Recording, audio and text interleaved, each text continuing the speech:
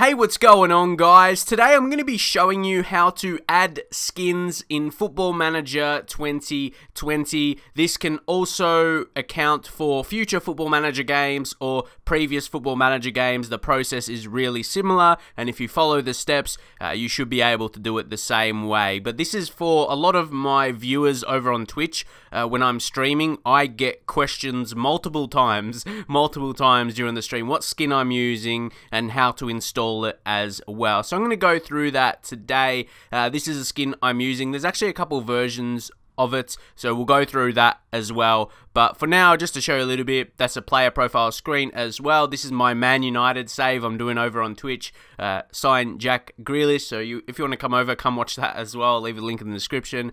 Uh, but yeah, for you to get this skin, it is TCS. And I'm going to show you where you can get this from, how you can add it into your Football Manager game, FM20, really simply. Really simply. So, the website. You have to go to to download it and they have more a lot of other skins you could use and a lot of other helpful tools and everything. Fm scout massive shout out to them. You basically yeah simple here download now then it downloads to your computer. Uh, so once it does that you need to go to your documents file uh, sports interactive and the skin section and then you just drop it right in there and that's all you need to do for that part. So now I've loaded up Football Manager and gone back to the default skin to show you guys if you got this, you haven't added any skins, so it's similar to you guys. So if we go to the preferences, click on FM, preferences, and then it's pretty easy to find under skin. There, then you've got it to change.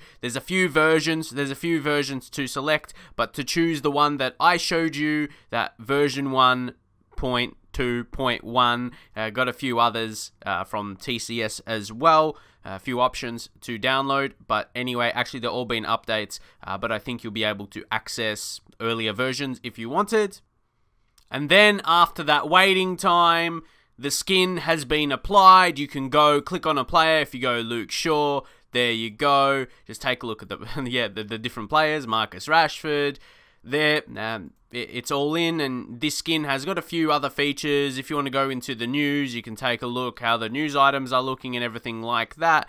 And yeah that's basically showing how it's at if we go back to the home screen uh, just you sort your panels the way you want as well. Just select all of them. Yeah like uh, choose which ones you want. Uh, there's a lot of options so you can sort the the home page out how you would like. Uh, if not, they just change up, and yeah, you can choose to select highlight important panels on overview. But yeah, if you want to change them, you can change that however you want. So that's pretty much it. That's pretty much it. A nice little quick video here for you guys.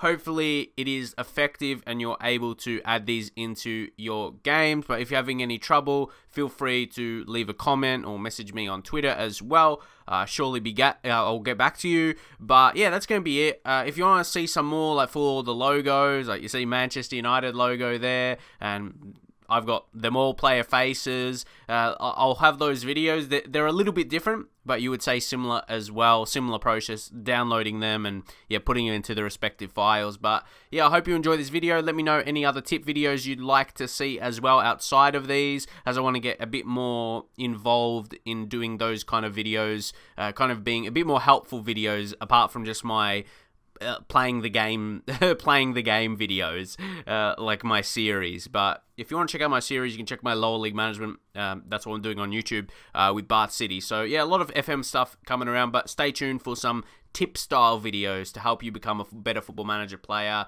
and just uh, in uh, learn how to play the game more more specifically. So yeah i hope you enjoyed this little tip video today and i'll see you guys next time